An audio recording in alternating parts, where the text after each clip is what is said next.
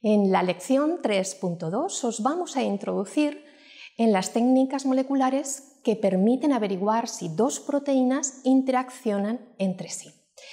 ¿Por qué esto es importante? Bueno, pues porque las funciones vitales de la célula, la mayoría son llevadas a cabo por complejos proteicos.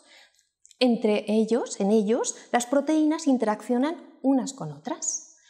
Inicialmente, las técnicas que nos permitían observar estas interacciones eran técnicas in vitro. El problema es que si intentas averiguar si dos proteínas interaccionan físicamente fuera del entorno celular, esto puede conllevar errores. Hoy en día, gracias al avance de las técnicas moleculares que nos permiten fusiones génicas más la disponibilidad de sondas fluorescentes, se han desarrollado técnicas que nos permiten hacer esto pero en vivo. Algunas de las más usadas están en la diapositiva. En esta lección vamos a estudiar en qué consiste la técnica de doble híbrido y en la siguiente lección veremos las técnicas de BFC y de FRET. Unas consideraciones preliminares que hemos de tener en cuenta antes de iniciar una técnica de estas características son, en primer lugar, todas requieren transformación genética en un organismo. Si este organismo es distinto al suyo propio, puede que ocurran cambios en expresión, en traducción, localización, modificaciones post-traduccionales. Por tanto, puede que tengamos resultados negativos, pero estos resultados hemos de comprobar siempre que la proteína se está traduciendo para que no los podamos creer. Y igualmente, en el caso de un resultado positivo, este será creíble solo si utilizamos un control negativo.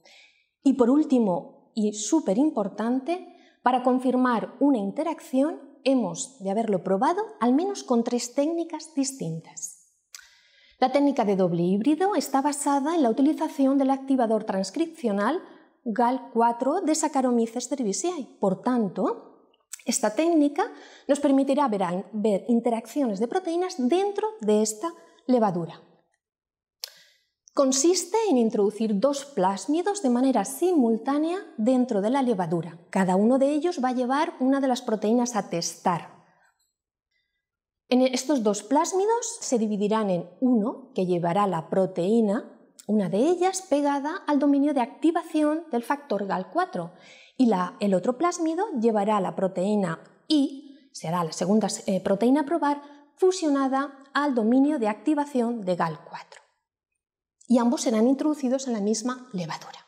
Eh, generalmente la proteína que va pegada al dominio de activación se llama presa y la que va unida al dominio de unión a DNA se llama cebo. La proteína presa puede ser una única proteína o puede consistir de una librería de proteínas.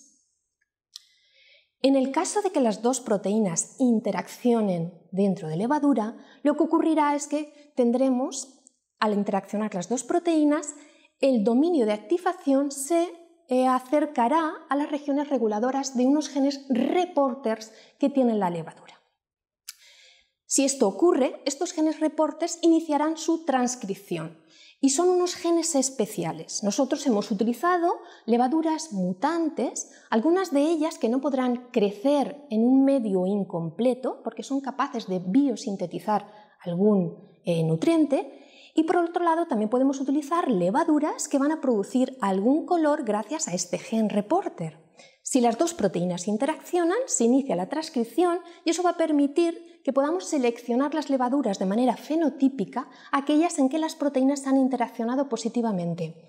En la imagen, en la parte inferior, podemos ver un ejemplo de cómo observamos al final un ensayo de estas características. En un medio con nutrientes, todas las levaduras crecerán. En cambio, en un medio sin nutrientes, solamente crecerán aquellas levaduras donde la proteína I y la proteína X han interaccionado, al igual que ocurre con el control positivo y no ocurre con el control negativo.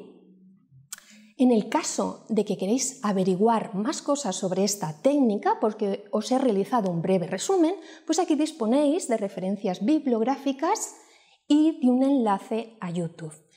Y espero que os haya gustado y nos vemos en la próxima lección.